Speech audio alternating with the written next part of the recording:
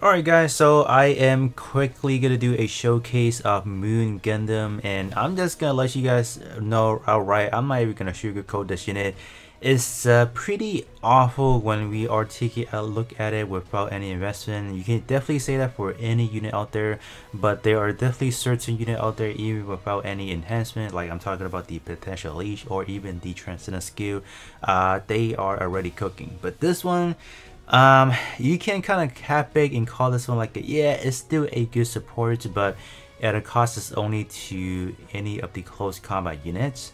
Um, other than that, like I would rather use a different support than this one. And I'm just gonna say like I'm not the biggest fan of like evasion, then you gain increased damage or whatsoever. 99% uh, of the time, if your evasion rate is not anything higher than let's say like a 70 plus percent, you probably will not feel the damage, alright? Uh, we do have like a good 28% for the first 30, 30, seconds, but after that we are on our own. Uh, even on the transcendent skill is a little bit more time gated as well, so it's certainly going to be used for arena, but if you are someone that's only able to pull one copy, if you toss this into arena, I mean, I, I guess good luck because it's not really going to perform good either because like just no investment, no transcendent skill does make this unit really vulnerable. Uh, there's just gonna be a lot of situations where this unit could already get sniped off and it's the end of the world. Um, I guess in, in, in, in terms of the module wise, we are going for the double evasion, so we can try to minimize the um, I guess of evasion that we don't have from the uh, transcendent skill. So this one is giving me up to a 15% while this one is giving me up to a 13%. So at least we are almost nearly the same as what the skill one is offering at the uh, like after the first 30 seconds then that's pretty much what, what we're rocking with. Um, but that's just not enough because you do have to encounter that oh the enemy might have uh, let's say accuracy increase as well. So in that case it's, it's kind of netting it off. So yeah pretty unfortunate but uh, in terms of the weapon power level wise, they're not that bad. They're S minus from both of them, so we will definitely take that. It, it gets better after we do have the potential unleash, but in terms of our showcases, we're not going to be doing that. Uh, one thing I do want to know, I accidentally put this unit to custom level 11 because how they're handling or after the UI changes. So I accidentally fed all of my UI custom tickets, so I'm kind of bumped out.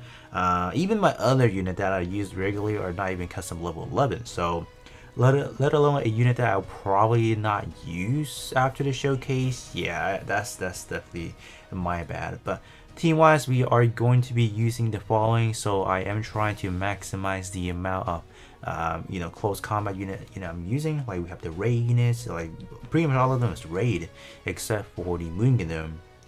Um, we'll be tossing in the Hi-Nu as well uh, because I think this is a unit that I have never showcased on my global account so why not just actually toss it in we're going to be bringing he into healer. We have GM and then we have a Nu Gundam because I know this squad cannot survive alright? So I uh, I just want to bring some extra insurance so we can at least survive just a little bit longer. So I'm just to be tossing in some equipment over here and then we should be good to go. So I'm just to be hopping into the unicorn um, co-op because I feel like that's probably a better match to um, go into than some of the other one. Um, I'm not even comfortable with taking Bungan in Bunganum into let's say the what is it the battle rush because with the amount of evasion rate we only have I don't really think it's gonna be that great so I guess just, just gonna hop in and see how Moon Gundam performs Alright, so let's kind of see. So placement wise, um, I guess we gotta reconfigure it just a little bit. Um, I guess I'll put Moon Gundam up front like that. And then I am, yeah, I'm just gonna leave it a swallow, so I think that should be fine. Uh, right off the bat, I do want to quickly show you guys the sprite in game. So this is how it looks like. So it's not bad. It's not bad, right? Um, and then we will obviously show off the EXQ first because uh, I think I have a pretty bad tendency of not showing you guys the EX skill, so let's actually get that in here as well. Um, I think our first goal is actually trying to pop the EX skill and then we should have a little bit of an easier way to uh, get the EX skill gauge recovery by that 10 seconds. So it's gonna go away like a like like a fly because it's uh, the duration is just not long enough. Even look at this, even Hi-Nu guys is uh, ultimate or the uh, EX skill a little bit faster. Like look at that, that's insane. Yeah, that's the problem with like Moon Gundam. Like the hit rate is ridiculously slow. It re uh, it cycles through two melee weapons, and then goes into a psycho plate, and then is that's kind of it, right? That's uh, I'm gonna say we do see a increase in terms of the uh, EX gauge being recovered a little bit faster. Um, I don't think we will see that too often in here. And let's gonna see. Okay, I guess it's not that bad because the other unit hasn't even cycled through. Okay, we have had new cycling through already, so that's cool, right? Alright, so Moon Gundam, let's go. I mean, like, at least the animation looks nice, I'll give you that. Uh, other than that, how, how, how are we doing? Okay. Alright. I think after this, I will actually pause the animation now because it's uh, it's gonna take it's gonna take a hot minute to to get through everything. Um, did I not focus on Moon Gundam? Oh, there you go. So so far, Moon Gundam is uh, not looking too bad. So okay, I'll I'll definitely take that. Um, is this one of those situations where it's really RNG based because you just never know when you're getting the evasion. Uh, unless you just have like a guaranteed evasion or um, the enemies were sure targeting you and dude, we need the healing real bad because we're we're taking a lot of hits. That's the problem with oh my gosh. If Moon Gundam would have at least evaded, yeah, we would have we would have been cooking, but no. Uh, Moon Gundam said no.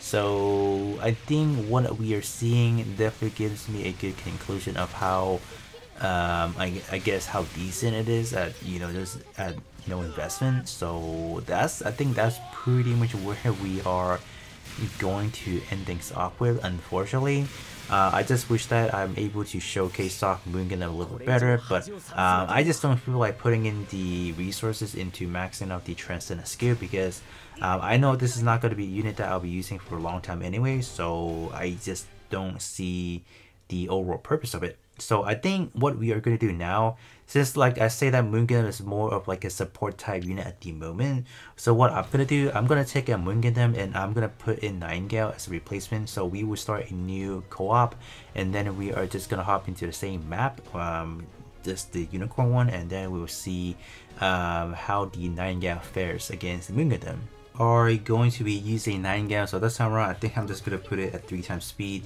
So Nightingale without any investment is pretty much like just a support.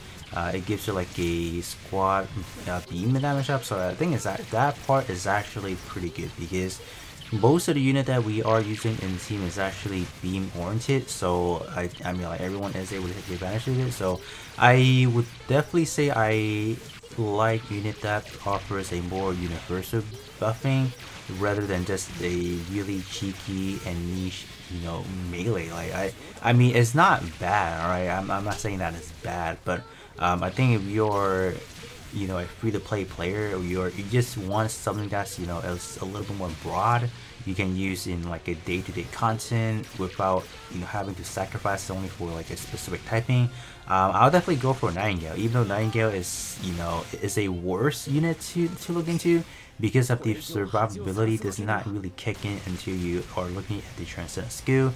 Uh, but I think overall it's definitely a different things you have to take a look at. Uh, Moon Gundam could be busted, alright? I'm not gonna say his, his outright bad, uh, it's just the investment, all right. It, it, it's just it, it's a matter of fact. Like, do you want to put in the resources, like the your rainbow coins, if you did not max it out during the banner period release, or um, you just you just have to do something else like unit enhancement or whatever. But um, I think at initial glance, I would definitely say the buffing itself is kind of alright. 17% uh, to the melee and even the melee unit I'm using aren't really the top tier one. Um, I think for this showcase is definitely trying to give you guys a glimpse of how it could do rather than testing its like true peak performance because obviously we cannot do that.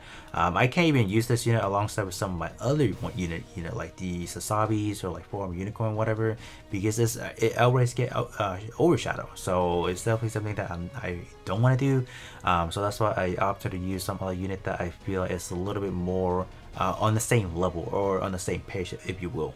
Uh, but other than that, as as a stand right now, I definitely say without any investment or without any um, stars or whatever, Moon Gundam is just not that good. All right, um, um, yeah, it's pretty terrible. So I'm just gonna leave it at that. I think you guys definitely will have a different interpretation because you know I like I said again, I don't have this unit maxed out, so it's definitely hard to engage how it could be at max out performance. But I'm just gonna leave it at that, and I'll be catching you guys all on the next one.